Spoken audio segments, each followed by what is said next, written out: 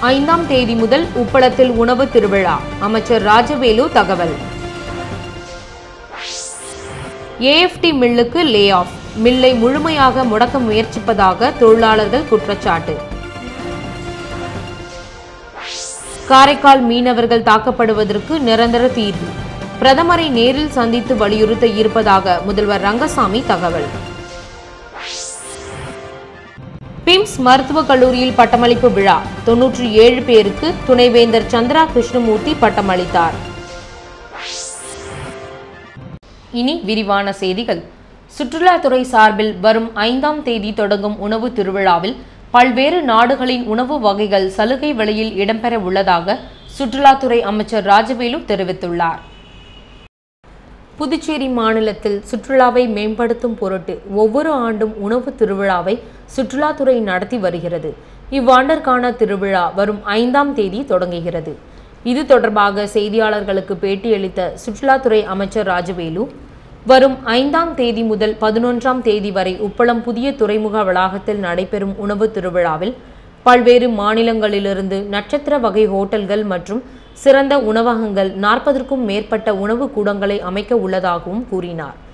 மேலும் இந்திய நாட்டு உணவுகள் மட்டுமின்றி சீனா பிரான்ஸ் இட்டலி வியட்நாம் உட்பட பல நாடுகளின் சிறந்த உணவு வகைகள் தயாரிக்கப்பட்டு நாற்பது சதவிகித சலுகை விலையில் விற்பனை செய்யப்பட உள்ளதாக தெரிவித்த அமைச்சர் ராஜவேலு உணவு திருவிழா அனுமதி கட்டணமாக ஐந்து ரூபாய் வசூலிக்கப்படும் என்றும் அனைத்து நாட்களிலும் பல்வேறு பாரம்பரிய கலை நிகழ்ச்சிகள் நடைபெற உள்ளதாக தெரிவித்தார்.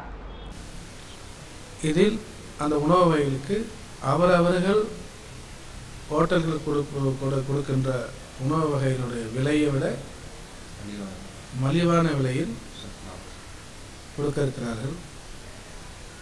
அதனுடைய விலை அது நாற்பது பர்சன்ட் குறைவாக கொடுப்பதற்கு அவர்கள் இசைந்துள்ளார்கள். இந்த உணவு திருவிழா வருபவர்களுக்கு ரூபாய் ஐந்து ரூபாய் கட்டணங்கள். இந்த உணவு திருவிழாவுக்கு வருபவர்கள் நம்முடைய பீச்சில் இருக்கிறதிலிருந்து அந்த இடத்திற்கு செல்வதற்கு எங்களுடைய சுற்று பேருந்து அதாவது பஸ் வசதி செய்து கொடுக்கப்படுகிறது.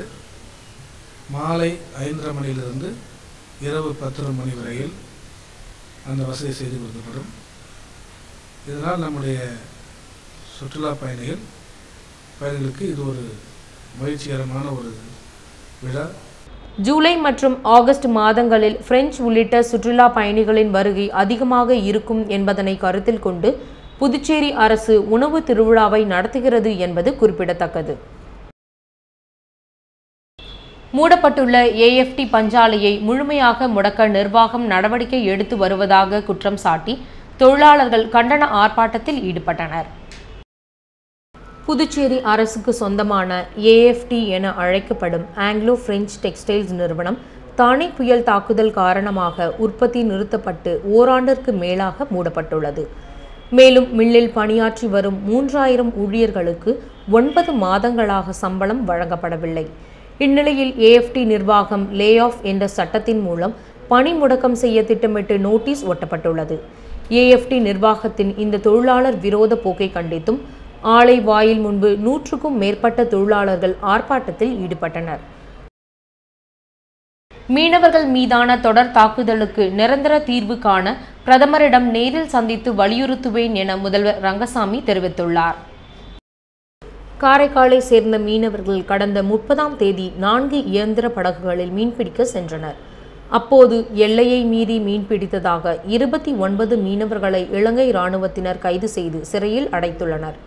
இதனை கண்டித்து வேலை நிறுத்தத்தில் ஈடுபட்டுள்ள காரைக்கால் மீனவர்கள் பஞ்சாயத்தார் சிறைப்பட்டுள்ள மீனவர்களை மீட்க நடவடிக்கை கோரி தேசிய மீனவர் பேரவைத் தலைவர் இளங்கோ தலைமையில் முதல்வர் ரங்கசாமியை சந்தித்து மனு அளித்தனர். சட்டசபையில் உள்ள முதல்வர் அலுவலகத்தில் நடைபெற்ற இந்நிகழ்ச்சியில் பதினோரு மீனவ பஞ்சாயத்து நிர்வாகிகள் கலந்து கொண்டு மீனவர்களை விடுவிக்க கோரினர்.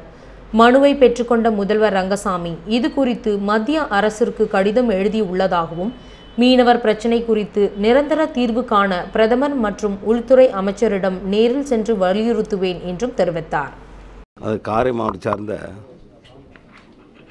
காரைக்கால் மேடு கிளிஞ்சல் மேடு காசாக்குடி மேடு கோட்டுச்சேரி மேட்டை சார்ந்த நாலு விசைப்படகு சென்ற இருபத்தி ஒம்பது மீனவர்கள் முப்பது ஏழு ரெண்டாயிரத்தி பதிமூணு அன்று இலங்கை கடற்படையினால் சிறைப்பிடிக்கப்பட்டதாக தகவல் கிடைத்தது. அந்த தகவல் கிடைத்தவுடன் மத்திய அரசுக்கு நேற்று அவர்களை விடுவிக்க ஆவணம் செய்ய வேண்டும் என்று கடிதம் எழுதப்பட்டுள்ளது. மாண்புமிகு பாரத பிரதமர் அவர்களுக்கும் துறை மாண்பு மத்திய அமைச்சர் அவர்களுக்கும் கடிதம் எழுதப்பட்டுள்ளது. இது சம்பந்தமாக நேரில் சந்திக்கும் பொழுது மாண்புமிகு மரியாதைக்குரிய மாண்பு பாரத பிரதமர் அவர்களிடமும் மத்திய அமைச்சர் அவர்களும் இது தொடர்பாக நிரந்தரமான ஒரு தீர்வு காண வேண்டும் என்று வலியுறுத்த இருக்கிறேன் பாரத பிரதமரும் இது மாதிரி நிகழ்ச்சி தொடர்ந்து நடந்துகிட்டே இருக்குது. இதற்கு ஒரு நிரந்தர தீர்வு காண வேண்டும் என்று வலியுறுத்த இருக்கிறேன் பிம்ஸ் மருத்துவக் கல்லூரியில் நூற்றி நாற்பத்தி ஒன்பது மாணவ மாணவியருக்கு புதுச்சேரி பல்கலைக்கழக துணைவேந்தர் சந்திரா கிருஷ்ணமூர்த்தி பட்டங்களை வழங்கினார். பிம்ஸ் மருத்துவக் கல்லூரியில் கடந்த இரண்டாயிரத்தி எட்டு இரண்டாயிரத்தி ஒன்பதாம் ஆண்டு மாணவ மாணவியர்களுக்கு பட்டமளிப்பு விழா நடைபெற்றது. கல்லூரி அரங்கில் நடைபெற்ற இவ்விழாவில் பிம்ஸ் முதல்வர் ஜான் ஆப்ரஹாம் தலைமை தாங்கி ஆண்டறிக்கை வாசித்தார். சேர்மன் டாக்டர் ஜேக்கப் குத்துவிளக்கேற்றி விழாவை துவக்கி வைத்தார். புதுச்சேரி பல்கலைக்கழக துணைவேந்தர் சந்திரா கிருஷ்ணமூர்த்தி சிறப்பு விருந்தினராக கலந்து கொண்டு இளங்கலை முதுகலை பட்டப்படிப்பை சேர்ந்த நூற்றி நாற்பத்தி ஒன்பது மாணவ மாணவியர்களுக்கு பட்டங்களை வழங்கினார். பின்னர் அவர் பேசுகையில் ஆய்வு கட்டுரைகள் புதிய ஆராய்ச்சி உள்ளிட்ட நோயாளிகளுக்கு உதவிடும் வகையில் அமைய வேண்டும். நோய் வருமுன் காப்பது எப்படி என்ற விழிப்புணர்ச்சியை சமுதாயத்தில் ஏற்படுத்திட வேண்டும் என்றும் அப்போதுதான் நோய் தடுப்பு முறை குறித்து மக்களுக்கு தெரிய வரும் என்றும் கூறினார். விழாவில் கடந்த ஆண்டுகளில் பல்வேறு பாடப்பிரிவுகளில் வெற்றி பெற்ற மாணவ மாணவியருக்கு பிம்ஸ் சேர்மேன் ரொக்க பரிசினையும் சான்றிதழ்களையும் வழங்கினார். முன்னதாக பட்டம் பெற்ற மாணவ மாணவிகள் உறுதிமொழி ஏற்றுக்கொண்டனர்.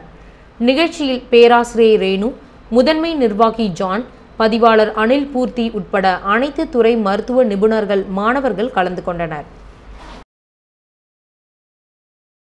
முதலமைச்சர் ரங்கசாமி பிறந்த நாளை முன்னிட்டு நடைபெற்ற இலவச மருத்துவ முகாமில் முன்னூறுக்கும் மேற்பட்டவர்கள் கலந்து கொண்டனர். அரியங்குப்பம் அகில இந்திய என்ஆர் காங்கிரஸ் பேரியக்கம் மற்றும் மக்கள் முன்னேற்ற விழிப்புணர்வு இயக்கம் சார்பில் முதலமைச்சர் ரங்கசாமி பிறந்த நாளை முன்னிட்டு இலவச மருத்துவ முகாம் நடைபெற்றது. அரியாங்குப்பம் காமராஜர் திருமண நிலையத்தில் நடைபெற்ற இம்முகாமில் பல் கண் காது மூக்கு தலைவலி உள்ளிட்ட அனைத்து நோய்களுக்கும் இலவசமாக சிகிச்சை அளித்து மருந்து மாத்திரைகள் வழங்கி ஆலோசனை வழங்கப்பட்டது. இலவசமாக இரத்தம் சிறுநீர் பரிசோதனைகள் செய்யப்பட்டன. இம்முகாமில் முன்னூறுக்கும் மேற்பட்டவர்கள் கலந்து கொண்டு பயனடைந்தனர். இதில் அரியாங்குப்பம் அகில இந்திய என்ஆர் காங்கிரஸ் பேரியக்க உறுப்பினர் பாஸ்கர் ஏஎஃப்டி பஞ்சாலை தலைவர் பாலன் புதுச்சேரி மாநில டெல்லி பிரதிநிதி வழக்கறிஞர் பக்தவச்சலம் சாலை போக்குவரத்து கழக தலைவர் ஞானசேகரன் ஆகியோர் கலந்து கொண்டனர். சுல்தான்பேட்டையில் இஃப்தார் நோன்பு திறப்பு நிகழ்ச்சியை முதலமைச்சர் ரங்கசாமி துவக்கி வைத்தார். வெளியனூர் தொகுதிக்குட்பட்ட சுல்தான்பேட்டையில் இஃப்தார் நோன்பு திறப்பு நிகழ்ச்சி முகமதியா மஹாலில் நடைபெற்றது. இதில் முதலமைச்சர் ரங்கசாமி சிறப்பு அழைப்பாளராக கலந்து கொண்டு நோன்பு திறப்பு நிகழ்ச்சியை துவக்கி வைத்தார். இந்நிகழ்ச்சியில் துணை சபாநாயகர் செல்வம் அமைச்சர் தியாகராஜன் எம்எல்ஏ நேரு முன்னாள் எம்எல்ஏ நடராஜன் வாரிய தலைவர்கள் பாலன் ரகு மற்றும் என்ஆர் காங்கிரஸ் பிரமுகர்கள் சரவணன் உட்பட பலர் கலந்து கொண்டனர். இதனிடையே முதல்வர் ரங்கசாமி பிறந்தநாளையொட்டி சுல்தான்பேட்டையில் ஐநூறுக்கும் மேற்பட்டவர்களுக்கு நலத்திட்ட உதவிகளை முதலமைச்சர் வழங்கினார். இதில் முன்னாள் எம்எல்ஏ நடராஜன் என்ஆர் காங்கிரஸ் பிரமுகர் சரவணன் உட்பட பலர் கலந்து கொண்டனர். இதேபோல் முதலமைச்சர் ரங்கசாமி பிறந்தநாளையொட்டி என்ஆர் தலைமை ரசிகர் மன்றம் சார்பில் அறுபதற்கும் மேற்பட்ட ஆதரவற்ற மாணவர்களுக்கு ஸ்கூல் பேக் உள்ளிட்ட கல்வி உபகரணங்களை முதலமைச்சர் ரங்கசாமி வழங்கினார். இந்நிகழ்ச்சியில் ஜெயபால் செந்தில் மற்றும் கட்சி உறுப்பினர்கள் கலந்து கொண்டனர்.